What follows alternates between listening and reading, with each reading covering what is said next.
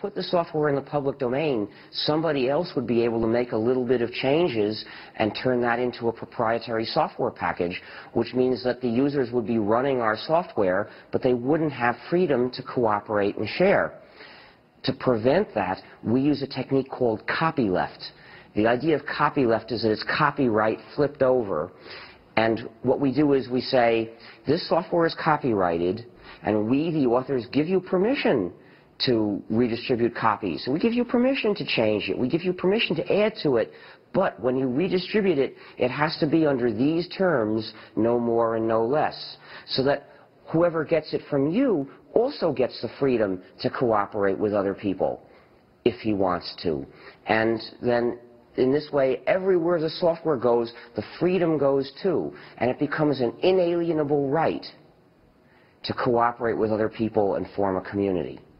And so what is that, the license, what, what is that? Well, copyleft being a general idea, in order to use it, you have to have a specific example.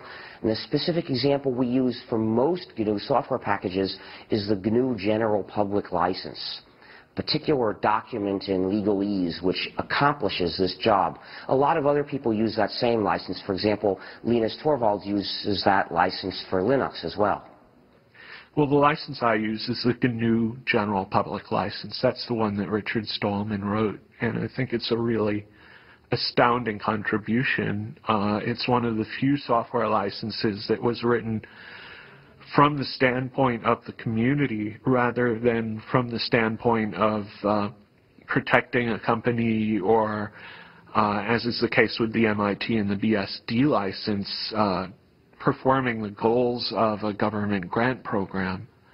Uh, and the GPL is really unique in that it's not just a license, it's a whole philosophy that I think motivated the open source definition. I don't hide that a lot of what I do came from Stallman.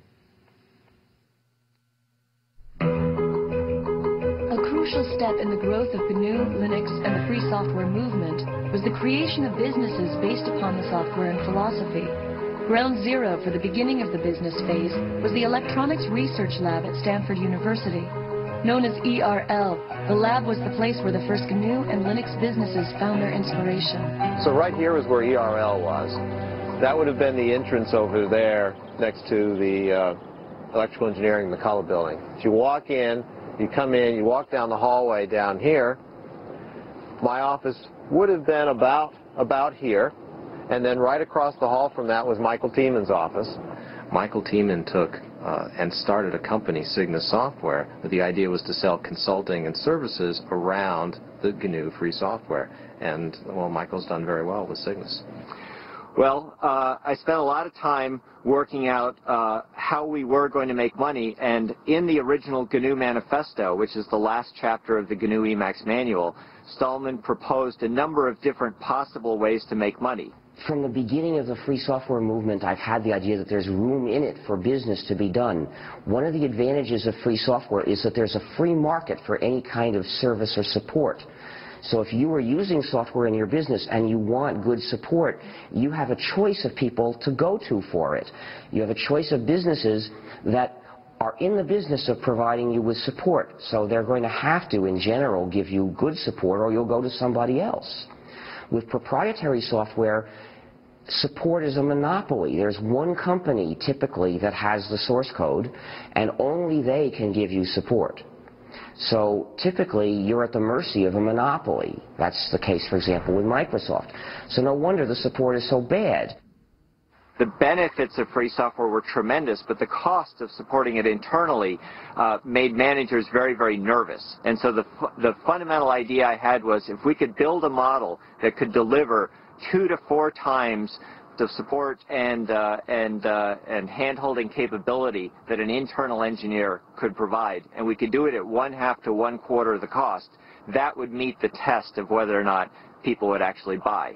And by about the fall of that year, we had all of the things worked out about who we needed on the technical team, what the terms of the sale would be, what the key price points were, and we actually received our incorporation in November of 1989. One of the most difficult things in starting our company was actually finding a name for it. I explained this to one of my friends. We were having difficulty, and he returned an email message that basically just had a bunch of words with the name GNU in it.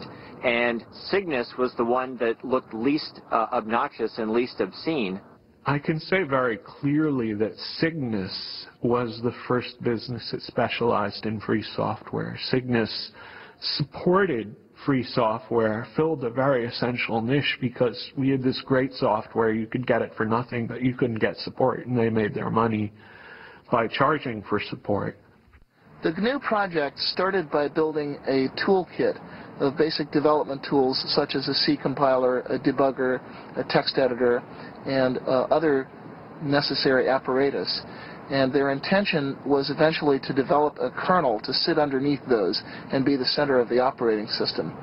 By about 1990, they had successfully developed that toolkit, and it was in wide use on a great many variants of, of Unix, but there was still no free kernel. The kernel happened to be one of the last things we started to do, and we had started it not long before. And that's when Linus Torvalds came along. Linus or Linus? What's exact your preferred pronunciation? Um, when I speak Swedish, it's Linus. When I speak Finnish, it's Linus. When I speak English, it's Linus. And I really don't care how people pronounce my name. But Linux is always Linux.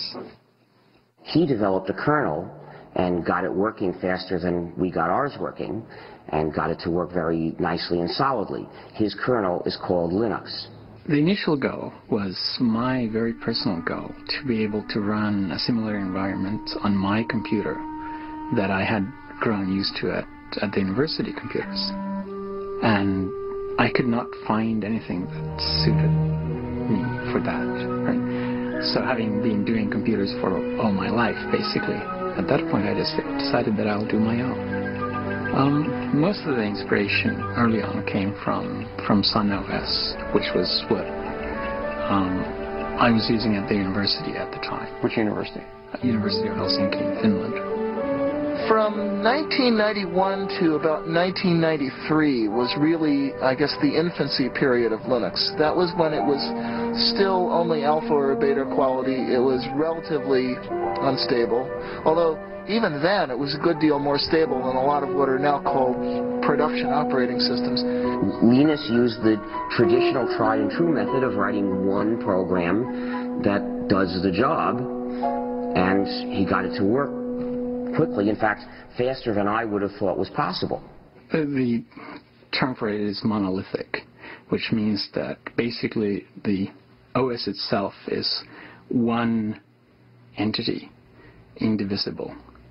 Um, while in a microkernel, the, the operating system kernel is actually uh, just a collection of servers that do different things, and then they have a common protocol for doing communication between themselves. So why is it that if, if the GNU project had, had so much lead time, so to speak, doing this, why was why is it that he was able to kind of come in at the tail end? Well, so we actually started the GNU Hurd not long before he started Linux. And as it happened, though, we chose a design that's a very advanced design in terms of the power it gives you, but also turns out to be very hard to debug we decided to divide up the kernel, which traditionally had been one program, to divide it up into a lot of smaller programs that would send messages to each other asynchronously to, to communicate. The problem is that that style of programming has a great deal of potential for bugs, which are often very hard to figure out because they depend on does this send does this program send this message before or after this one sends that message and the result was it took us years to get the thing to work.